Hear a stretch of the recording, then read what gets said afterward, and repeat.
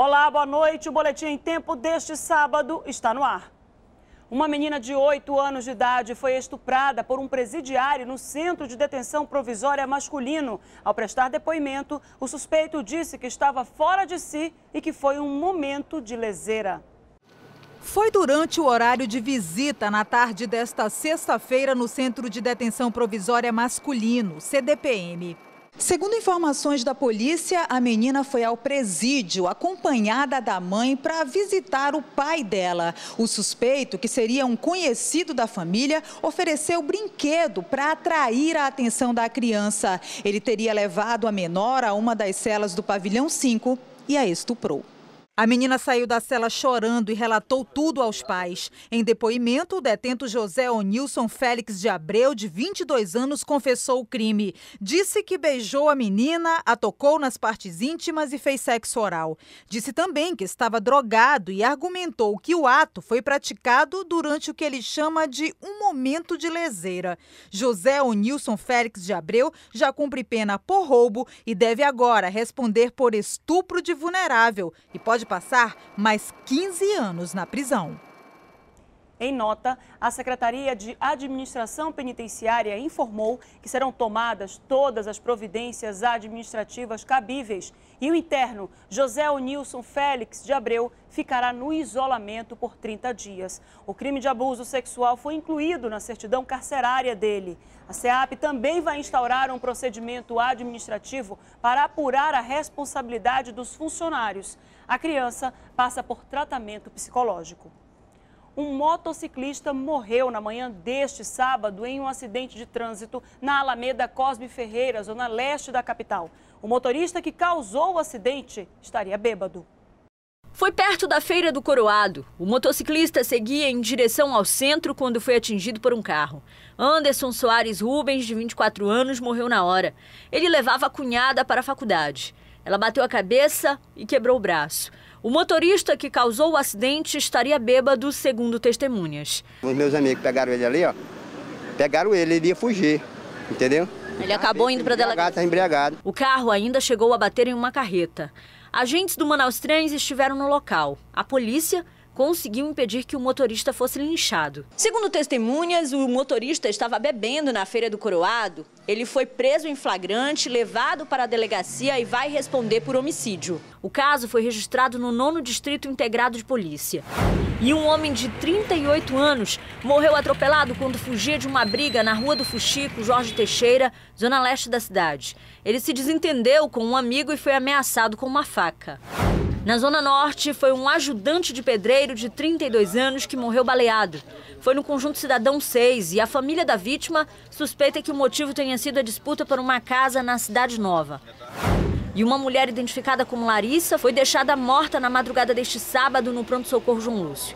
Ela usava uma tornozeleira eletrônica. O corpo tinha marcas de violência. A polícia investiga os casos. Hoje foi dia de virada sustentável em Manaus. No Parque do Mindu, a programação reuniu diversas famílias com atividades culturais e lazer.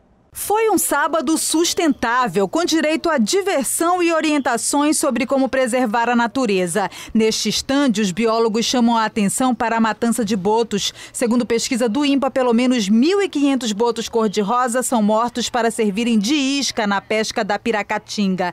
Aqui também é chamada a atenção contra as selfies com animais. É, tirar os animais para segurá-los e tirar fotos sem alimentá-los, tudo porque isto pode colocar em risco o bem-estar bem-estar e a saúde dos animais, mas também pode significar um risco para as pessoas. E quem foi ao evento da virada sustentável no Parque do Mindu em Manaus aprendeu bem sobre a importância de preservar. Causa aquela curiosidade, a gente quer cada vez conhecer, mas a gente realmente tem que respeitar. Selfie só no boto inflável. Só no boto inflável. no Mindu teve também pintura, artesanato, arte corporal, distribuição de mudas de plantas, atividades com escoteiros e esportes de equilíbrio. No anfiteatro, crianças e adultos também se divertiram com um grupo de atores vindos de várias comunidades do Rio Negro, no entorno de Manaus, que, por meio de espetáculos, incentivavam a plateia com projetos literários de autores amazonenses. À noite, a programação de cultura e lazer é no Parque dos Bilhares, até às 10 horas. A Marcha para Jesus levou uma multidão às ruas da cidade. O encerramento foi com shows ao vivo no Sambódromo de Manaus. Ônibus chegavam lotados. Eles começaram a se concentrar no início da tarde na Praça da Saudade.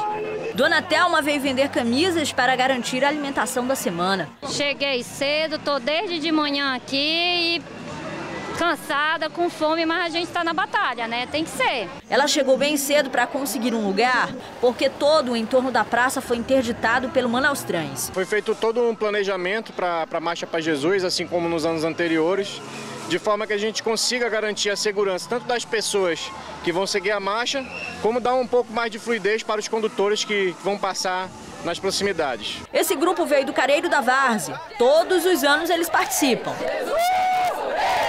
Porque nós reconhecemos que Jesus é o maior ser soberano que tem poder, tem autoridade.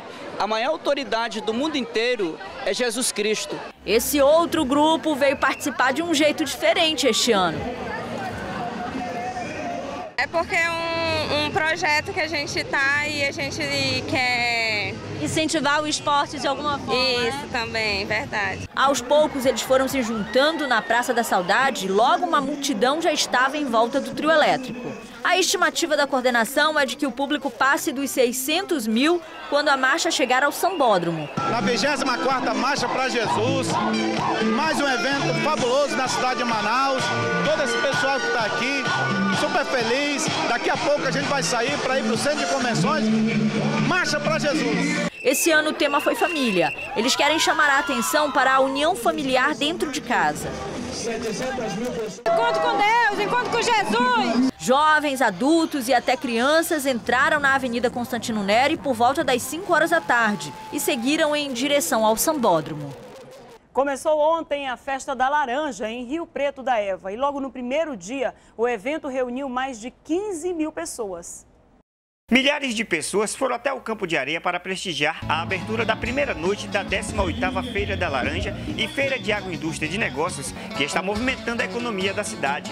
Nós temos hoje cerca de 450 produtores que vão tirar financiamento aqui na feira, que estão habilitados, que estão aprovados seus cadastros no Banco do Brasil e na FEAM. Fábio aproveitou a festa para ganhar uma renda extra. Ele trabalha com a família e está confiante que irá vender todos os seus produtos. A gente trabalha em família todo o tempo, todos os eventos que tem aqui, a gente trabalha. Então é perspectiva de vender tudo, né, mano? O cantor Jorge Aragão cantou seus sucessos e levou o público a pagodear na Terra da Laranja.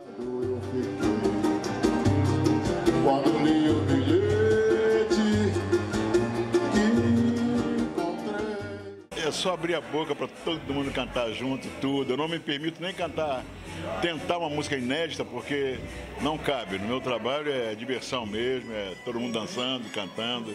Por isso que eu me sinto muito à vontade quando estou aqui na Amazônia. Teve também o desfile das candidatas à rainha da festa. Durante o dia, as pessoas se encontraram no balneário público para tirar a ressaca e se preparar para a segunda noite. A programação continua hoje a partir das 21 horas no Campo de Areia com bandas regionais e a grande atração nacional, a cantora Roberta Miranda. E amanhã, encerrando a 18ª Feira da Laranja, no principal balneário da cidade, se apresentará a cantora Solange Almeida, ex-Aviões do Forró. Eu sou Márcia Lasmar e este foi o Boletim em Tempo. Outras notícias a qualquer momento na nossa programação.